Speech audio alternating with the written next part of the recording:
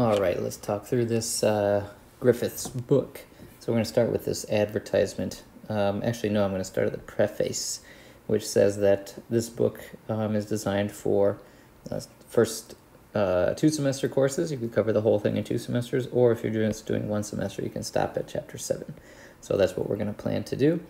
Um, and there's a couple things he does here which are meaningless to you because you probably haven't studied other E&M textbooks, but he's just pointing out that there's going to be some ways that he uses notation um, to define the unit vector, uh, vectors which point in the x, y, and z directions. Um, he uses uh, this notation here. When doing cylindrical coordinates, um, the distance from the z-axis he defines as s, okay, not a big deal. And then this cursive letter R, which is weird, um, and is apparently the Kaufmann font in Microsoft Word, which is apparently how he uh, prepared this textbook. Um, it denotes the uh, vector, uh, the length uh, and orientation of the vector that connects one vector to another.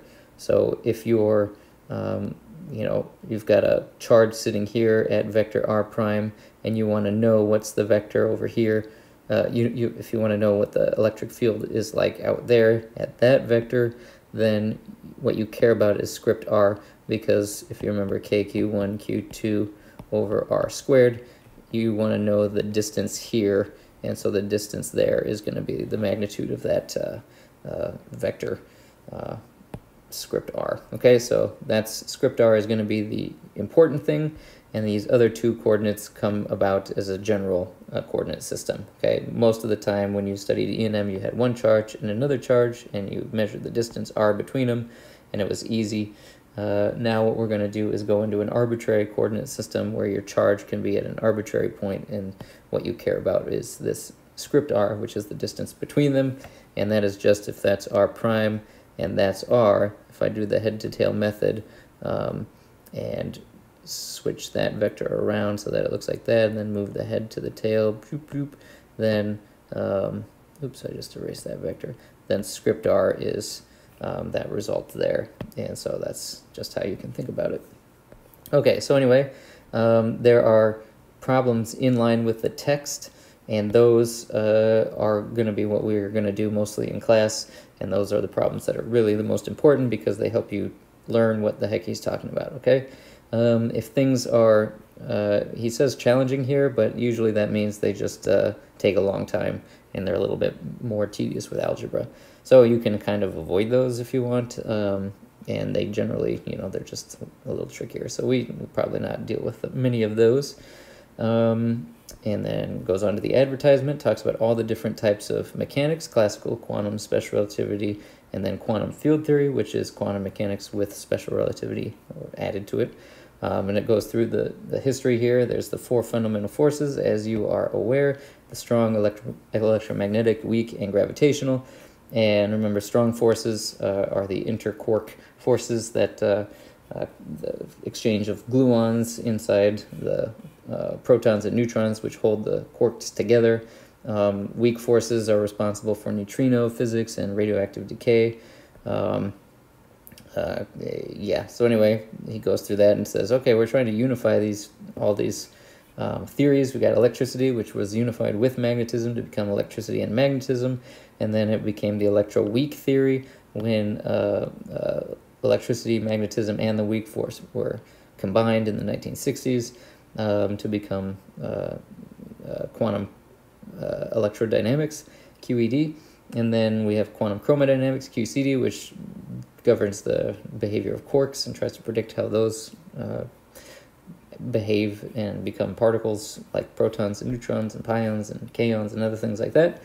And then uh, now we have this uh, electrodynamics as a field theory, uh, and um, that's kind of where we're at today. So we're going to treat electricity and magnetism as called like a classical field theory. And we're going to learn just the basics of the mathematics that go into that. Um, and electric charge is the main uh, topic that we're going to be talking about and how it behaves and the different things you can do with it. So there's two types of charge, uh, plus and minus. That's it. in quarks with color charge, there's three colors of charge or three types of charge. So there's no reason that there should be plus and minus charges. It could be plus and minus and something else and who knows what, right? Um, but uh, we have only two, plus and minus, so that's cool. Charge is always conserved. You're always going to have, you know, when you transform something into something, charge is conserved from before and after. We haven't seen any examples of that being uh, mm, wrong. So, you know, if you find something like that, uh, let me know and I will take credit for it and win the Nobel Prize. Uh, just don't tweet about it because then people will get mad at me. All right, um, charge is always conserved. So we're going to talk about this, the continuity equation um, that we get to later in the course. Charge is quantized. So um, the fundamental unit of charge is 1.602 times 10 to the minus 19 coulombs. That's the charge of an electron or the charge of a proton. That is the most fundamental charge. So you never have um, 2.3 uh, electron charges, right? It's always in units of E, okay? So that's pretty cool. Um, and then the units, this is the last kind of weird thing. There's three types of units that people use for electromagnetism, Gaussian, SI, and Heaviside Lorentz. And you can see Coulomb's law in either of these things. The units, um, in Gaussian, there's no units, it's just QQ over R squared. In SI units, it's QQ over this epsilon naught comes in with a 4 pi. In Heaviside Lorentz, it's QQ over 4 pi. Um, and the two most popular are Gaussian and uh, SI and then this Heaviside Lorentz people use, and it just really has to do with um, when you're doing the calculations, what has the least amount of steps writing in the context you're writing in.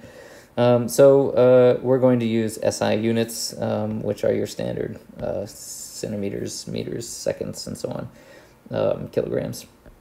Okay, um, and then there's Appendix C that has a dictionary for converting units. All right, moving on to chapter one. So we're going to start talking about vector uh, analysis, and we're starting with uh, section 1.1, which is what this video is going to cover. And 1.1 is just introducing the concept of the vector and what you can do with it. You can add and subtract. We've done vector stuff, you've done vector stuff, but never like this before. Okay, so let's review. Um, if you walk four miles and then three miles, okay, you are you walked seven miles, okay, but you're not uh, seven miles from where you started. Okay, so how do we describe that? And that's where the concept of the vector comes in because we need magnitude and direction. Magnitude and direction. Those two things together are what a vector makes, um, uh, or what makes a vector.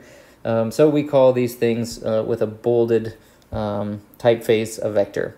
Okay, and the magnitude of it is the absolute value symbol here um, or an unbolded A. So if you see an unbolded A, it means the magnitude. So if I asked you, if I said that this is vector A, okay, and I would draw it with an arrow on top, and that's probably what you're most used to, but in this book, it's easy to bold it, just bold it, and so that becomes a vector. So let's say this is a very uh, bolded A. Okay, so there's my vector. If I said, okay, what's the magnitude? Psh, psh, I could put that on there and say the magnitude of A is 4 miles, okay? So that's just some notation stuff. Um, if you talk about a vector and you want to talk about the opposite of the vector, all you have to do is mirror it or flip it around. So uh, there's the axis perpendicular to it and then just cause it to flip the other way. Um, so uh, there are four main operations that you can do to a vector. You can add vectors together and you can multiply vectors in three different ways. Uh, the addition of two vectors is simple. You do the head to tail method. So if this is A and that's B, and we had them separated, so there's A and then B's over here. If I wanted to add those two vectors, I would join those two points together.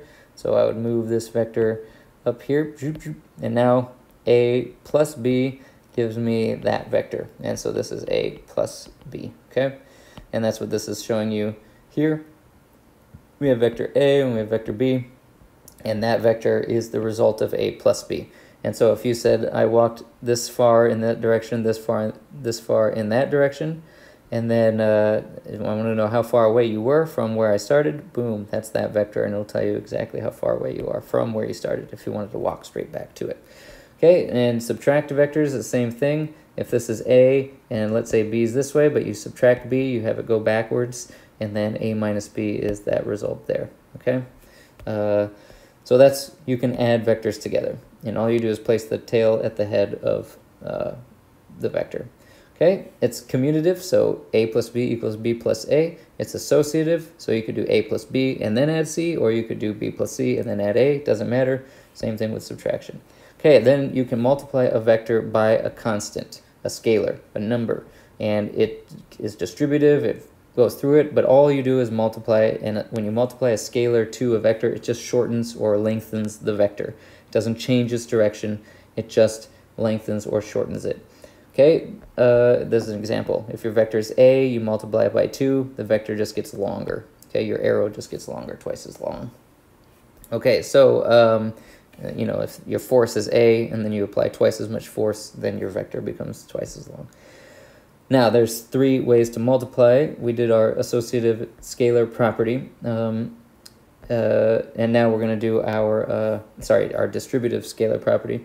And then uh, there's the dot product. And A, A dotted into B gives you um, the projection of A along B and then multiply by that. So, you know, think about it this way. If you have a vector uh, A and you have a vector B, okay, and then you know there's the uh, force QV uh, cross B, which is a bad example for uh, the uh, dot product because this is the cross product. Um, so let me find a different example. I'll do that one in a little bit. Okay, but let's say you have got A and you've got B here, those two vectors. Um, a dot B is defined as the magnitude of A times the magnitude of B times the cosine of the angle between them. Okay, and what this says is that if I have a vector A and a vector B, and there's an angle here, if I have a physics formula where um, the length of A, there's my Y component of A up, and then my uh, X component of A is this way. Let's say my physics that I'm doing depends on AX times B, okay, but the AY component doesn't do anything. That's what the dot product is there for. Because what the dot product does is take the adjacent and hypotenuse, right? So it takes the adjacent side of A multiplies that times b, the length of b, the magnitude of b, so that those two work together. If the x component of a and b all work together um, to multiply two things, then you have um, a, a dot product, okay? So that's all that is. It's just a b cosine theta, and that's where you want to ignore the y component that's perpendicular to the uh, uh, vector because if you have a and b at 90 degree angles, cosine of 90 uh, is zero. So then you have zero uh, result of those two forces acting together or whatever the, they're representing. Okay, and then the scalar product um, or the dot product is commutative. So you could do A dot B or you could do B dot A. And again, that's because all you're doing is multiplying the uh, coordinates that are along each other. And it's distributive, so you could A, A dot B plus C, so you could do A dot B and then add A dot C, and you can prove that pretty straightforward.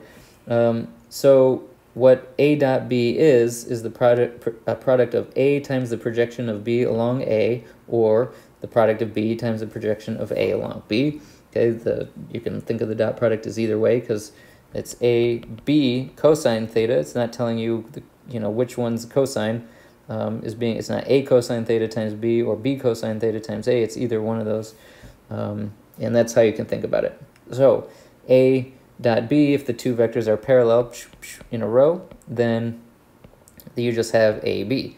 Uh, if you have any vector dotted into itself, you just get its magnitude squared. If they are perpendicular to each other, A dot B equals 0. Okay, so this is if you have two vectors, A and B. Um, A cosine theta, right? Um, if we look at what cosine theta is, cosine theta is equal to, excuse me, of that angle, we've got um, adjacent AX over hypotenuse A. Um, cosine theta equals adjacent over hypotenuse AX over A. So then A cosine theta is equal to AX. So then um, A dot B is equal to A cosine theta, right, times magnitude of B.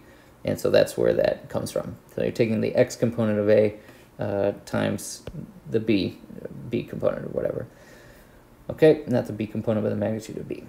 So that's what you're doing there. If you care about, you know, if this force, if the y component is doing nothing, but the x component is adding to b to give you an even longer vector, they're working together where they multiply, um, like a force times distance type thing, then, uh, then you want to take that dot product. Okay, so here's an example. Um, let's uh, c equals a minus b, which is figure 1.7.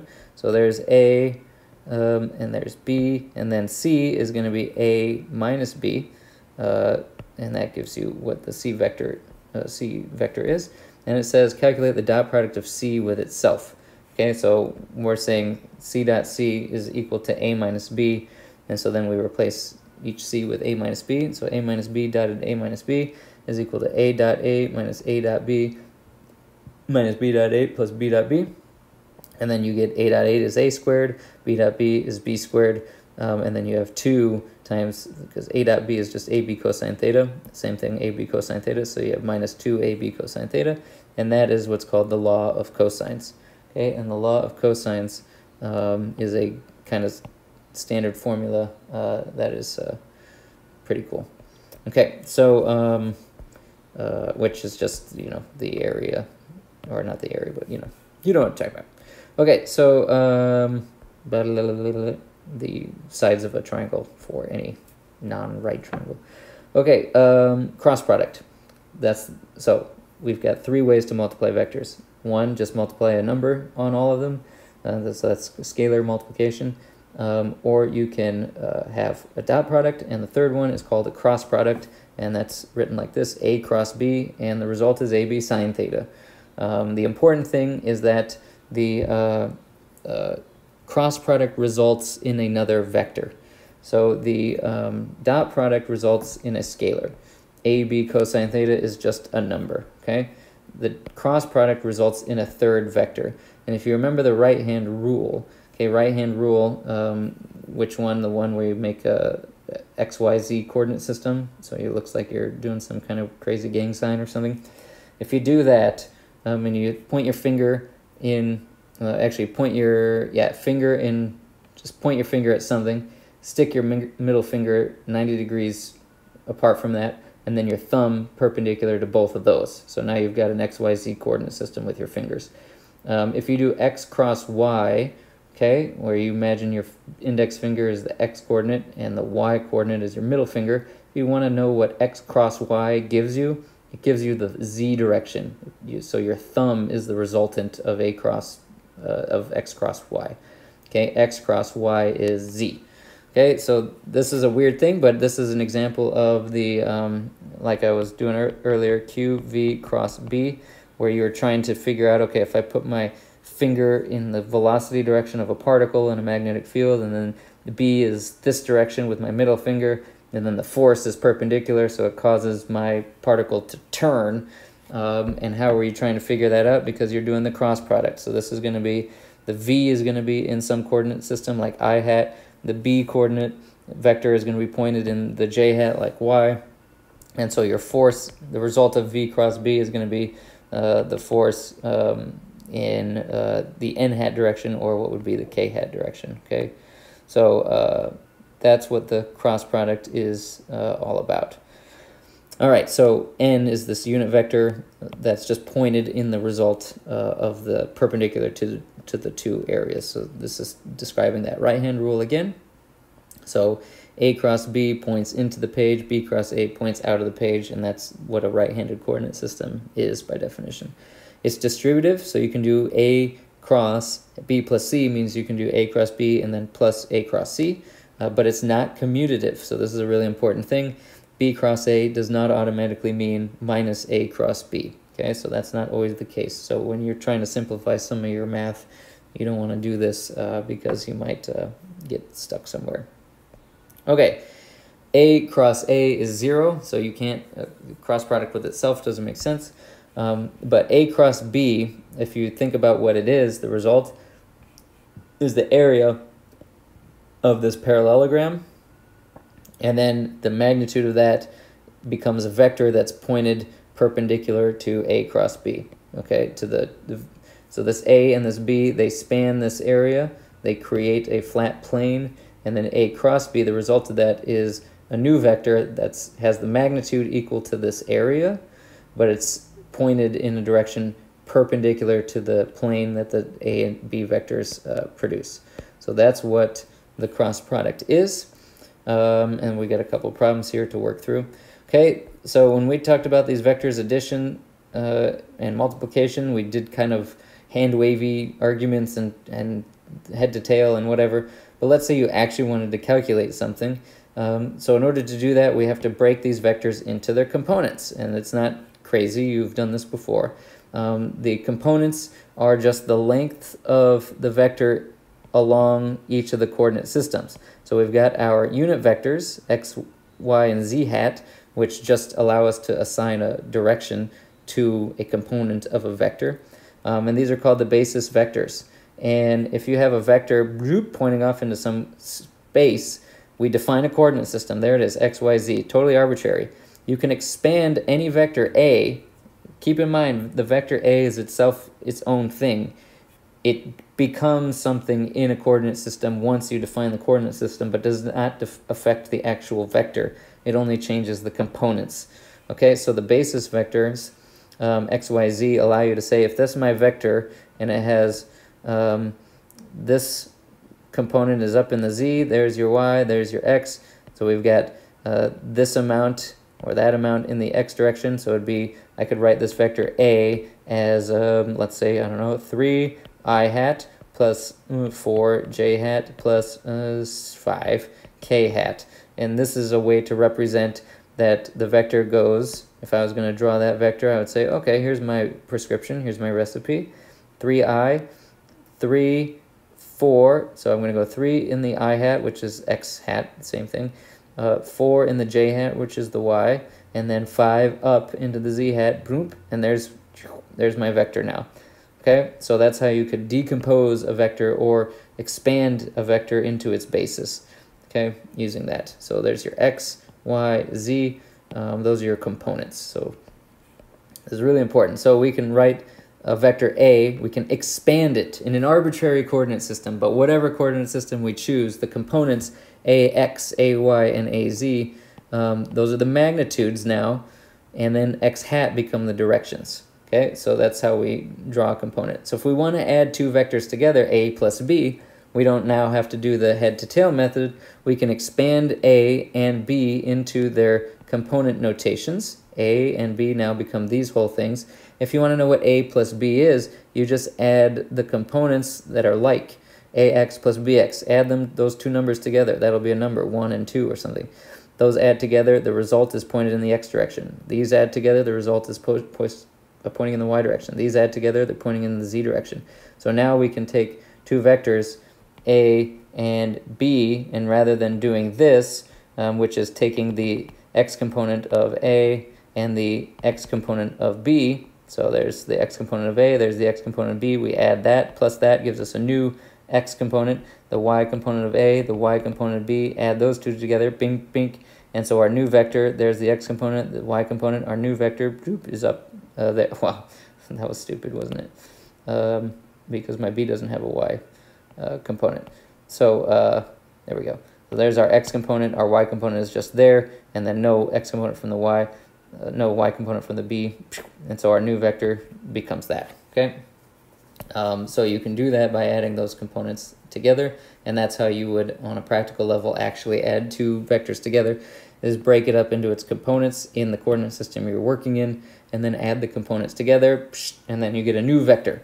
So to add vectors, you add the like components, which are the x coordinates. coordinates. You can multiply by a scalar. a times a is just, again, multiply that through the whole thing.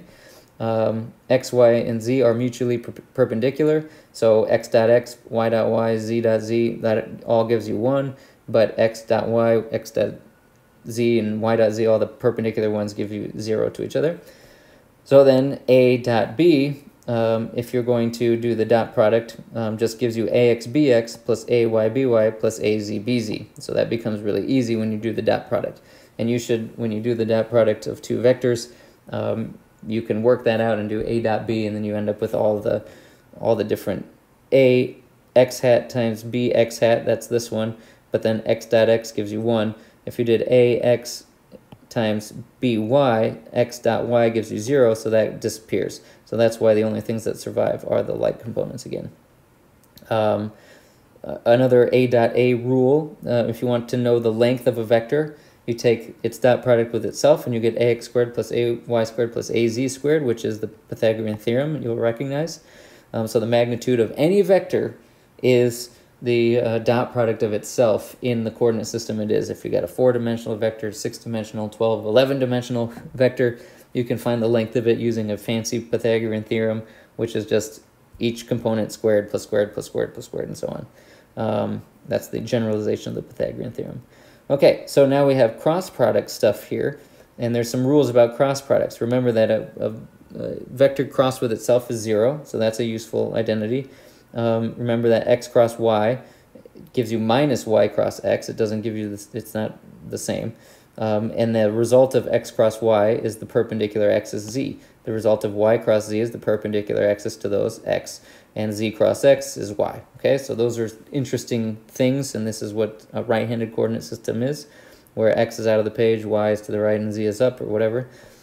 Okay, so if you do a cross b, and then you write the vectors out in component form, and then you actually do the multiplication, uh, then you get this aybz minus azby times x hat plus blah, blah, and all these things. This is something even I always have to write down and look up again or uh, do this thing again to remember what it is because I don't use it enough to really have it completely memorized to make sure. Actually, I probably do. That's probably a lie. Okay, but anyway, it's complicated, so don't worry about it. The A cross B is the determinant of this matrix, x, y, z, ax, ay, az, bx, by, bz. So you write the um, unit vectors in the first row, you write the uh, uh, components of the first vector in the second row, and then you write the components of the third vector in the last row, and you remember that um, the uh, determinant is you take this and then ay times bz minus by times az, uh, oops, and that's what this uh, part is, and then you move to the next one, y hat times az, bx, ax, bz, and so on, and that's how you can uh, do that. I don't know what this is. New note. Okay. Um, so to calculate the cross product, you form the determinant of this thing. So uh, maybe you don't know what a determinant is. Uh, we can go over that. Um, but the determinant of this is this. So that's the determinant of that three-dimensional matrix. Okay, um, so if you're wondering what it is, that's it. That's all it is. Um, okay, so here's an example here. Find the angle between the faces, uh, face diagonals of a cube. So there's one vector, here's another vector. Those are the coordinates of the vectors there. Um, 0, 1, 0, and then 1, 0, 0. Well, those are your x's. So in component form, if we want to do a dot b, okay, and um, you know, write everything down, um, you know, blah, blah, blah, blah, blah. Let's see. Yeah, so this is interesting. Um, mm -hmm. Yeah, let's keep going. So go through that example. I like that. Uh, this is trying to show you the two different ways you can do the um, A dot B's, um, either in the uh, abstract form, which is AB cosine theta. You know that 2 cosine theta has to equal 1 um, because you can do A dot B in two different ways. So 2 cosine theta equals 1, so that means cosine theta equals 1 half, which means the angle between them is uh, 60 degrees, which is kind of cool. So read through that, uh, make sure you understand that. Um, triple products are when you have, um, uh, it's called a scalar triple product. That's A dotted into B cross C. So why do we teach you these things? It's because they show up from time to time as we go through the book in real uh, ways and calculating actual things like uh, um, you know you got electromagnetic field or something like that or electric field acting on a charge and then you're going to do something to it. You're going to want to do a dot into the result of the electric field acting and then you get different answers. So um, uh, there's some rules here a dotted into B cross C is equal to B dotted into C cross A is equal to C dotted into A cross B. That's pretty cool, okay? They all correspond to the same figure because of this, uh, what the geometry is. Um, the thing that you pay attention to is that alphabetical order is preserved. So it's A, B, C, A, B, C, or A, B, C. Okay, when it, wherever the A is, B follows. Wherever B is, C follows, and, and it goes around in circles. Okay, um, non-alphabetical alphabetical triple products have the opposite sign. So if you go A and then you have to go backwards, A, B, C, A, B, C, and A, B, C backwards, um, then you get a minus sign. Okay, um, so then here's your A dotted into B cross C. It's the same thing, your determinant of this matrix, but instead of unit vectors, now you have AX, AY, and AZ instead of just X hat, Y hat, and so on. So you have the same uh, result. Uh, you can replace this instead of x hat, y hat, and z hat. You can put the magnitudes a, x, a, y, and a, z if you're doing a, b, c like that. Okay, and then uh, you get this result here. A dotted into b cross c is equal to a cross b dotted into c. These are things that you will probably have to continuously look up uh, before you get a really good sense uh, or a handle on um, what the identities are and what these rules are. So don't be afraid of that. Um, they're in the back of the book in the inside cover. Well, I recommend if you're using the PDF to print that page off from the back uh, just to always have those identities handy. Okay, um, blah, blah, blah. And then, yeah, so a dotted b cross c is meaningless because you can't make a cross product of a scalar, which is what a dot b is, and a vector. Okay, so that's interesting. Then you have the vector triple product, because now instead of a scalar multiplied by the two things, we have three vectors, A cross B cross C. Triple product um, can be defined, and so this is something you don't ever want to do. You never want to do that because it's a real pain in the butt, okay? So what you use is this back cab rule. So anytime you see A cross B cross C, you can simplify it into B times A dot C minus C times A dot B. Okay, so that's just back cab B A C C A B. Back minus cab. Back minus cab. B A C. B A C minus C A B. Back minus cab. Cool. You got it? All right. So um, uh, yeah, there's these other rules that you can do. We don't usually do those because they get a little bit crazy. So this problem here, prove the back cab rule by writing out both sides in component form. So you'll probably have to do that. Um, I mean, you will have to do that. And then there's this proof, this stuff here. And again, that's just writing out a bunch of algebra and just showing that it works and understanding how the machinery um, goes. All right, 1.1.4, position and separation vectors. Let's say you have an origin here and a point here. The vector connecting them um, is r, we'll call it, um, and it's pointed in the r hat direction. The r hat direction is just the unit vector representing uh, the direction that r is. So you could multiply the magnitude of r times r hat. Um, this vector r has components x, y, and z. x, y, and z. Okay, and uh, each of those components are written this way to show you how far in x, how far in y, and how far in z. And let's say you have a field and you say, oh, I want to measure what the field is like out here. Well, you know that the distance between them is what you care about, and that is called this uh, script r. Okay, and that script r is the uh, uh, separation vector which separates those two points. Okay, so um, r is the position vector. Uh, bold r like that. r, the length of it is square root of x squared y squared plus z squared, just like normal. Um, the magnitude and its distance uh, is the distance from the origin, right? Um, and then this r hat vector is um, the magnitude of r divided by the length of r, not the magnitude of r, the vector r divided by its magnitude. Okay, so it's like a normalized vector. It's pointed in the r hat direction, um, and it's uh, got these components in the x, y, and z, but they are um, normalized so that uh, you're dividing by the length of the vector. So that's it's telling you what percentage of the vector is in x, y, and z, but dividing by its length so that it normalizes out, okay? Um, the displacement vector is just this little dl. Let's say we want to um, move from the point, the end of the point, just a little bit, a little bit in the x, a little bit in the y, a little bit in the z. We're going to do this later with our calculus stuff, um, but that's called the displacement vector. Okay, um, he's saying you could call it dr because you're just trying to move. That's your vector. You're just trying to move it just a little bit over, um, just to see what happens. Um, but uh, he calls it dl just for simplicity. Okay, so you frequently encounter a source point r prime and a field point r, and what you want to do is calculate the effect of the field at the uh, field point from the source point, and uh, you're going to use this separation vector, which is just the set, you know r minus r gives you this vector. It's the distance between them, and it's the subtraction of the two vectors. Okay, and um, it's very simple. It sounds complicated, but it's not.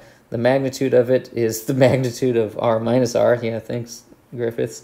Um, but if you were going to actually do that, um, you just, again, simply subtract the components r minus r hat, or r prime here. That would be rx minus rx prime, and then ry minus ry prime, and rz minus rz prime.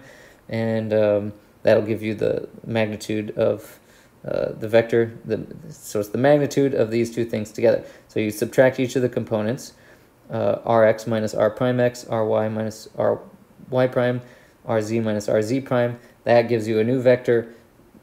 The new vector x squared plus y squared plus z squared, square root of that would give you the, uh, uh, the length, the magnitude. Okay, so there's a lot in this thing. Make sure you understand what that is saying. There's a lot going on there, okay? Um, so this is showing you how to calculate um, the magnitude. So this magnitude here is, that's what I was just trying to explain to you, x minus x prime squared, y minus y prime squared, z minus z prime squared, square root of all that, uh, because that's what that uh, vector is, okay? And then you got a unit vector, you're doing the same thing. It's vector divided by its magnitude, um, and that normalizes a, uh, gives you something to point somewhere um, and then you can multiply it by anything um, because all, all it's doing is allowing you to tell what direction something is point, pointing. It gets rid of the magnitude of it. Okay, um, so then there's this last section here, which is how vectors transform, which is really important. Um, so if you have a vector here in this coordinate system, but now you want to say, oh, actually my coordinate system is a little bit rotated. What does the vector look like now? And the vector itself does not change the vector A here, just because you take your coordinate system and you rotate it, okay, does not mean A changes. What changes are the components of A. So A is always A. The components are changing if you change the coordinate system. And uh, the coordinate system changing gives you these um, simple formulas here, which if you just do the geometry, and if this is a y in this coordinate system, and now that's a y in the other coordinate system, what's the difference between them? Uh, you end up with this transformation transformation matrix, um, which I definitely recommend you go through and just you know figure out this algebra again. It's just using these angles here and uh, and then saying that's ay in this coordinate system, this is ay in that coordinate system. How are they related to each other? Okay, and uh, they're related to each other with this um, coordinate system. So this math here, how this works, these are matrices. So you do cosine theta times ay plus sine phi uh, times az. So this would be cosine theta times ay plus sine, sine phi times az. And that's what ay, the new ay is equal to. And then the new az is equal to minus sine phi, sine phi, uh, this times ay, and that times ay and then plus cosine phi times a uh, z. And so that's what this um, is, this result and that result, cosine theta, uh, sorry, did I say plus? Cosine theta ay, uh, cosine theta, yeah, it simplifies down. Okay, so now more generally about an arbitrary axis in three dimensions, you get this gigantic rotation matrix this is what all your three-dimensional games are calculating um, when you're trying to uh, um, uh, shoot aliens or something like that. Every time you rotate your camera, it's doing these calculations to calculate all those rotations. All right, um, then we talk about uh, tensors.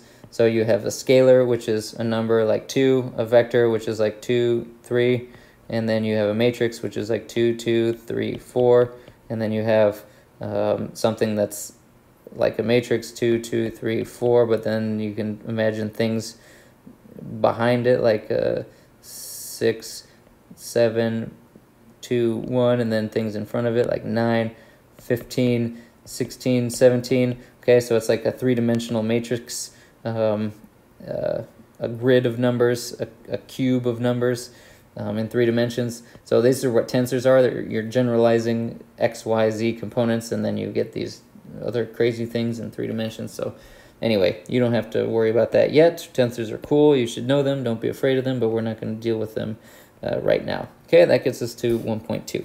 See you guys later.